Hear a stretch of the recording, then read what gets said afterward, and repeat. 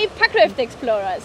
Wir sind hier an der Möll im wunderschönen Kärnten und wir haben endlich wieder einen großen Packraft-Test für euch. In diesem Video geht es um das MRS Alligator 2S Pro und wir haben uns wirklich für euch alles angeschaut. Vom Aufbau über Design, Bauform, Material, Verarbeitung und alle Features. Und natürlich habe ich das MRS Alligator 2S Pro dort getestet, wo es sich am wohlsten fühlt, und zwar im Wildwasser. Also bleibt dran!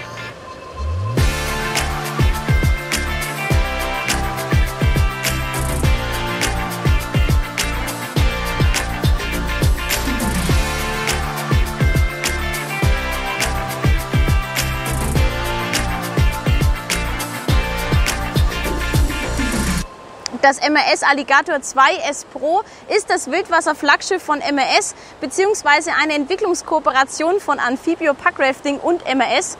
Im Vergleich zu seinem kleineren Bruder, dem Alligator 2S, wurden hier nochmal ein paar zusätzliche Features und ein spezielles Material in der Standardversion eingebaut, einfach um den anspruchsvolleren Packraftern im Wildwasser und bei sportlichen Packrafting-Touren gerecht zu werden.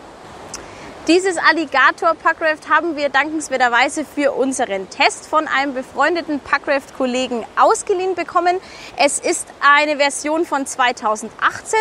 Seitdem wurden am Alligator 2S Pro noch mal ein paar Details verändert. Die blenden wir euch aber auf jeden Fall ein, damit ihr wisst, wie ihr das Boot in der heutigen Version bekommt. Bevor wir jetzt gleich mit den Details starten, möchte ich noch sagen, dass dieses Testvideo natürlich ganz unabhängig entstanden ist und dass alle Ergebnisse unsere ganz persönliche Meinung sind. In diesem Paket ist jetzt alles dabei, das Packraft und das gesamte Equipment. Wir schauen uns jetzt im ersten Schritt einmal an, wie viel das alles wiegt und danach, was alles dabei ist. So, wir haben uns jetzt hier mal eine ganz normale Kofferwaage geschnappt und hängen das hier mal hin. Das ganze Paket wiegt 4,5 Kilo. Also wir sind mit dem kompletten Wildwasser-Equipment unter 5 Kilo. Das würde ich sagen, ist ein sportliches Gewicht. Jetzt packen wir das hier mal aus und schauen, was in unserem 5 Kilo Boot alles drin ist. Einmal haben wir hier das vierteilige Sylrandgestänge, dann natürlich das Packraft und dazu kommen noch das Food Brace, der Blasesack und unsere Spritzdecke. So, dann machen wir aus dem Paket mal ein Wildwasser-Packraft.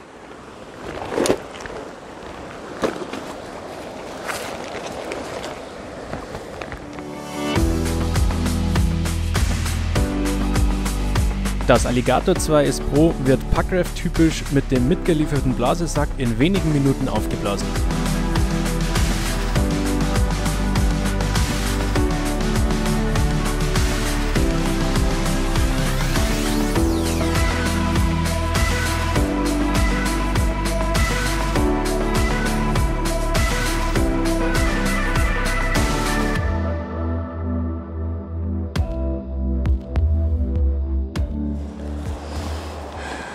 Ja, der Alligator hat hier leider unten ähm, in dem großen Ventil kein Rückschlagventil. Das heißt, jetzt muss man schnell sein, dass die ganze Luft nicht gleich wieder rausgeht.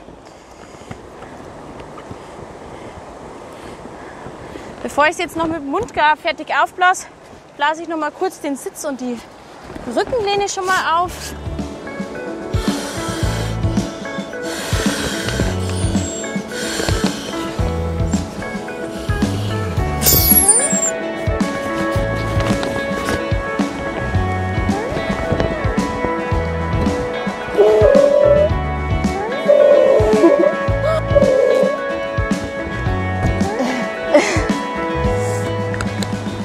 Wir haben jetzt hier bei unserem Testboot noch ein aufblasbares Food Brace dabei. Das ist einfach eine zusätzliche Fußstütze, die vorne in den Fußraum kommt. Gerade bei so kleinen Personen wie mir ist es auf jeden Fall gut, das dabei zu haben. Ansonsten eben, dass man auch so einen strammeren Sitz im Boot hat, kann man sich optional dazu bestellen. Das hängt man dann einfach unten in diese Lasche ein. Das auch wirklich fest verankert ist am Boot. Und dann kann man das nochmal aufblasen.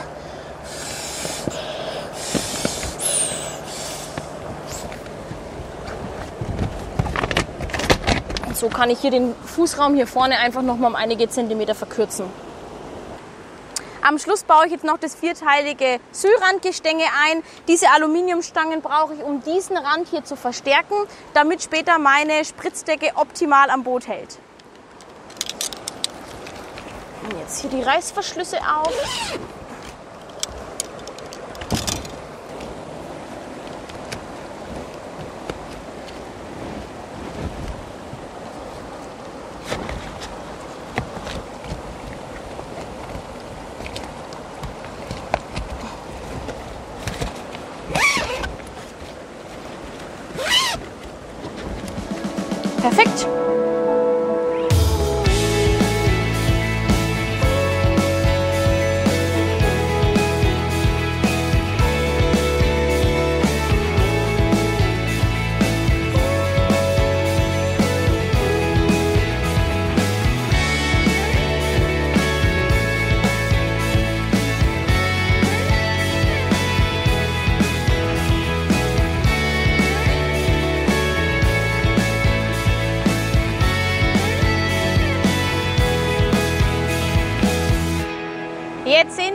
MRS Alligator 2S Pro einmal in seiner ganzen Schönheit. Was natürlich auffällt, ist dieses sportliche Design, das sich MRS hier ausgedacht hat. Also die schwarze Farbe mit diesen auffälligen roten Nähten. Das ist natürlich auf jeden Fall ein Hingucker, der aber für uns auch zwei kleinere Nachteile hat. Zum einen verstärkt die schwarze Farbe von äh, dem Packraft natürlich etwas, was bei Packrafts generell schwierig ist. Und zwar die Luft im Boot heizt sich bei extremer Sonneneinstrahlung auf, dehnt sich aus. Das heißt, der Druck im Boot wird immer höher. Das wird natürlich verstärkt bei so einer großen schwarzen Oberfläche. Also wir würden auf jeden Fall empfehlen, dass wenn man das Boot zum Beispiel länger auf einer Kiesbank bei einer Pause hat oder so, einfach ein bisschen Druck rausnimmt und Luft rauslässt oder das Boot eben immer halb im Wasser stehen hat, dass sich das einfach ein bisschen besser abkühlen kann. Der andere Punkt ist, dass ich eigentlich kein riesengroßer Fan generell von schwarzem Equipment bin, weil man es auf dem Wasser einfach schlechter sieht. Wenn man jetzt zum Beispiel mal sein Boot verliert, wenn es ein bisschen abgetrieben ist, ist es natürlich viel schwieriger aus einem Gebüsch zu erkennen als jetzt ein buntes Boot und deswegen würde ich für alle Fahrer vom Alligator empfehlen, dass dann einfach der Rest des Equipments, also Helm, Schwimmweste, Trockenanzug etc. einfach mit Signalfarben ausgestattet ist, damit man dich auch gut sieht im Wasser. Das Markenzeichen des MES Alligator 2S Pro ist neben seinem auffälligen Design auf jeden Fall seine stromlinienförmige Bauart, mit der MES auf zwei Aspekte setzen will. Und zwar einmal natürlich Wildwassertauglichkeit, aber dabei trotzdem Schnelligkeit. Wir haben hier einen sehr asymmetrischen Rumpf, das sieht man in der Perspektive ganz deutlich. Das heißt, Bug und Heck sind sehr unterschiedlich und den schauen wir uns einfach mal genauer an. Wir sehen beim Alligator eine relativ kleine Bugspitze mit einem moderaten Kielsprung. Wir kennen von anderen Wildwasser-Packrafts viel stärker hochgezogene Nasen. Insgesamt ist der Kielsprung ja immer dafür gut, dass die Wellen unter dem Boot schnell durch können und wir vorne einfach in Löchern oder in Walzen nicht so tief ins Wasser eintauchen. Das hier ist ziemlich moderat, aber trotzdem so, dass wir eigentlich einen guten Wasserfluss ähm, unter dem Bug haben. Beim Heck sieht das Ganze anders aus. Und zwar haben wir hier ein sehr langes und spitz zulaufendes Heck mit ordentlich Volumen am Hintern sozusagen.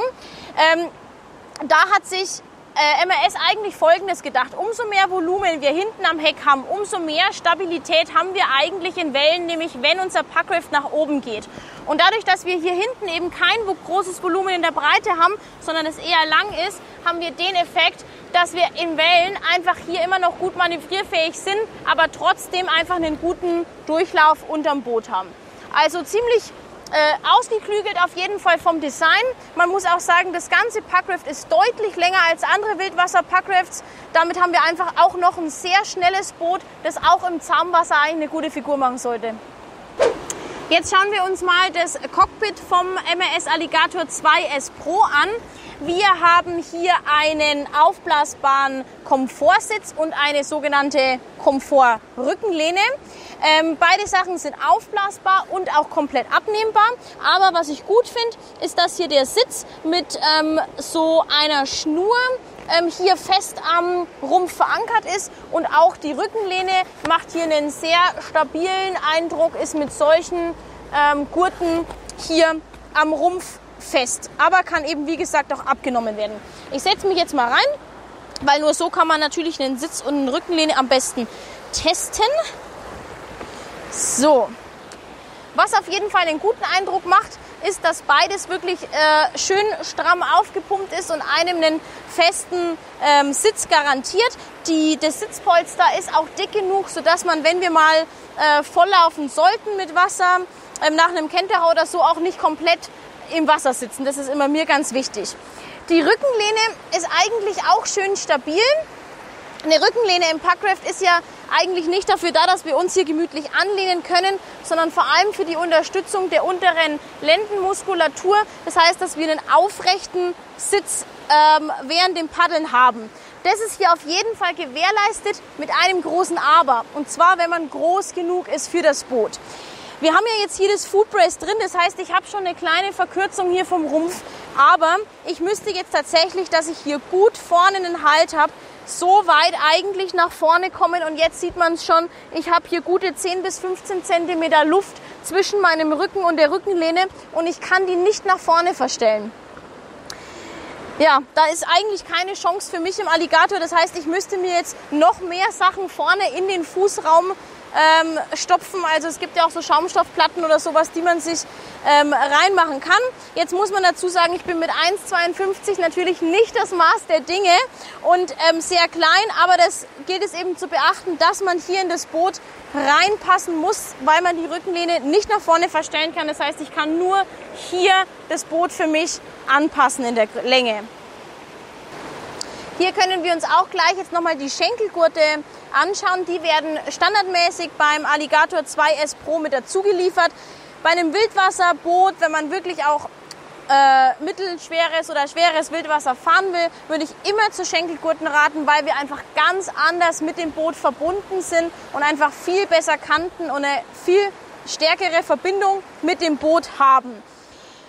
Ähm, wir sehen jetzt gerade schon auch, dass die Schenkelgurte bei mir nicht passen. Also wir haben jetzt gerade versucht, sie mal auf meine Größe einzustellen, aber auch hier sieht man, das Alligator 2S Pro ist leider nicht für ähm, so kleine Menschen wie mich gemacht. Also ich habe auch mit den Schenkelgurten wirklich Probleme. Tom wird sich aber gleich mal ins Boot reinsetzen. Der hat ja eine schöne äh, Allerweltsgröße und dann sieht man auch mal, wie das richtig passt. Ich wollte nur kurz noch einmal beschreiben. Also wir haben hier einen breiten Gurt, finde ich super angenehm. Also dass hier auch nichts einschneidet und wenn man äh, hier schön eingespreizt drin sitzt, hat man echt auch eine gute Auflagefläche.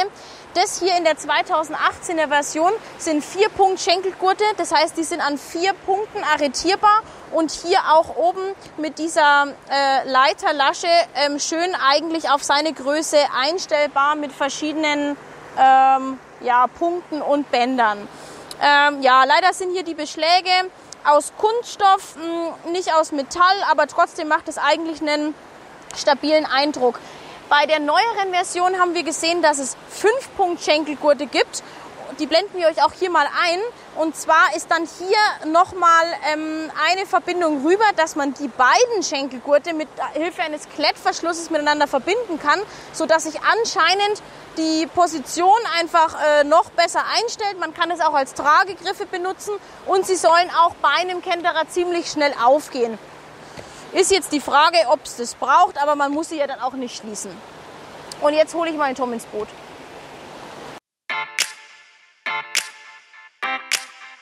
Ich hatte mit meiner Größe natürlich keine Probleme, die Schenkelgurte genau auf meine Größe einzustellen. Je strammer ich die Schenkelgurte angezogen habe, desto besser war die Kontrolle übers Boot. Allerdings hatte ich auf einer längeren Tour ein etwas unangenehmes Gefühl.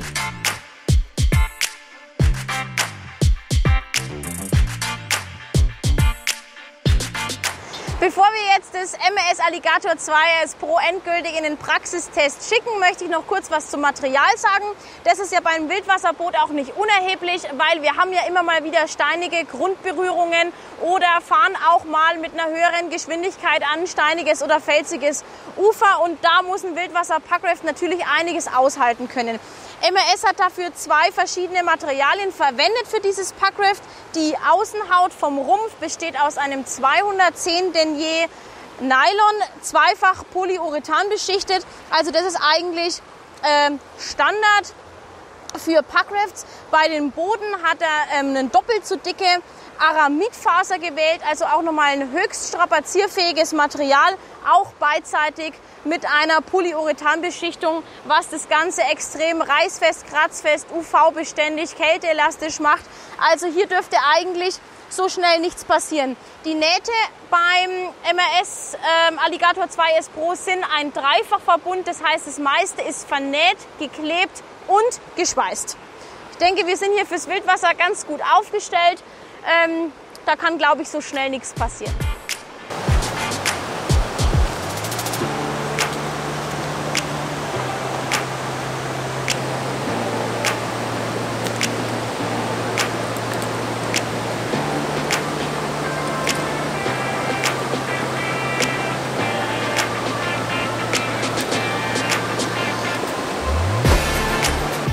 Jetzt schauen wir uns mal an, wie viel Gepäck wir in diesen Alligator 2S Pro einladen können. Der Alligator 2S Pro kommt standardmäßig mit dem T-Zip Reißverschluss und zwei internen Packsäcken. Ich schaue jetzt einmal, ob ich meinen großen Trekking-Rucksack hier hinten reinbekomme. Noch zum Thema Gepäckverstauung. Ihr könnt in den Alligator 2S Pro insgesamt 140 Kilo Gepäck einladen.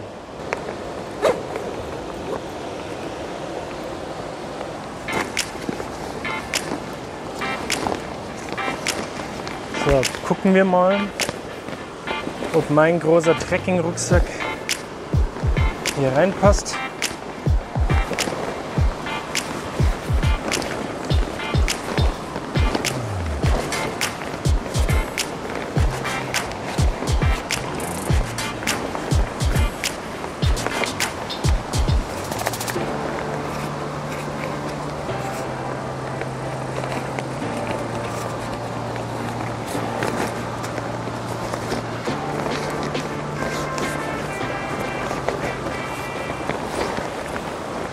So, und wie ihr sehen könnt, der Rucksack passt tatsächlich ins Alligator rein.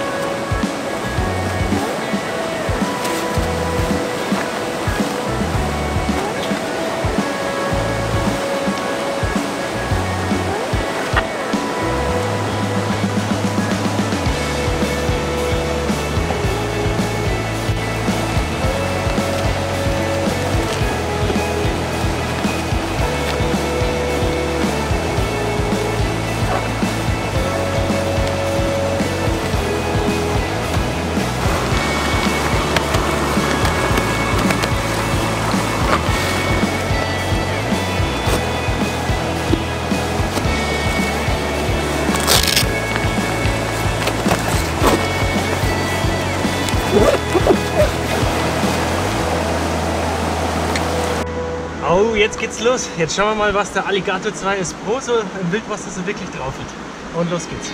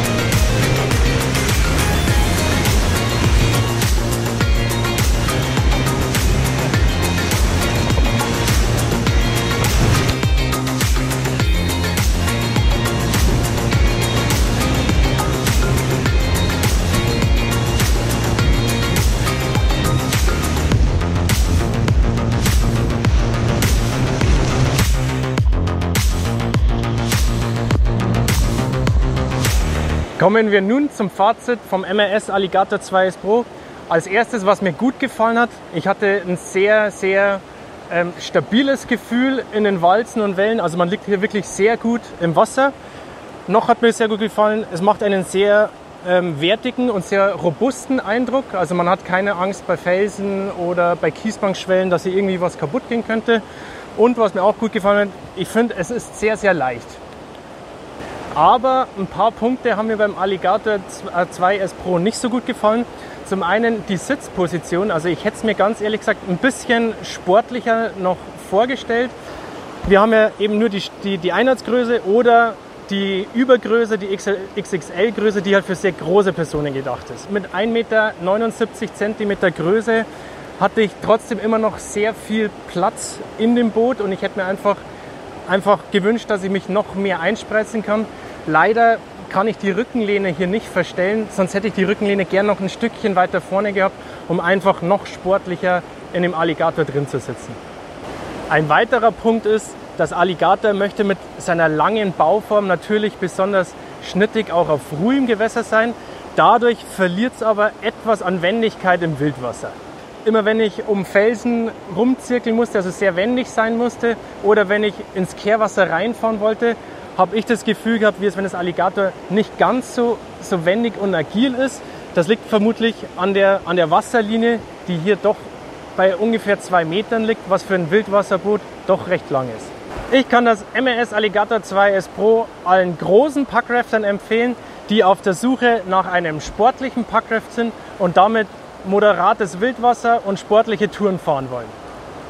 Das war ja unser großer Packraft-Test zum MRS Alligator 2S Pro. Wenn ihr nochmal alle Informationen, technischen Daten und Zahlen zum Nachlesen wollt, verlinken wir euch hier unten in der Infobox unseren dazu passenden Blogartikel auf packraftexplorers.de. Und ich würde mich eben freuen, wenn ihr das Video liked, den Kanal abonniert, auf die Glocke drückt und beim nächsten Packraft-Video auch wieder einschaltet. Also, bis, bis zum dann. nächsten Mal. Tschüss. Ciao.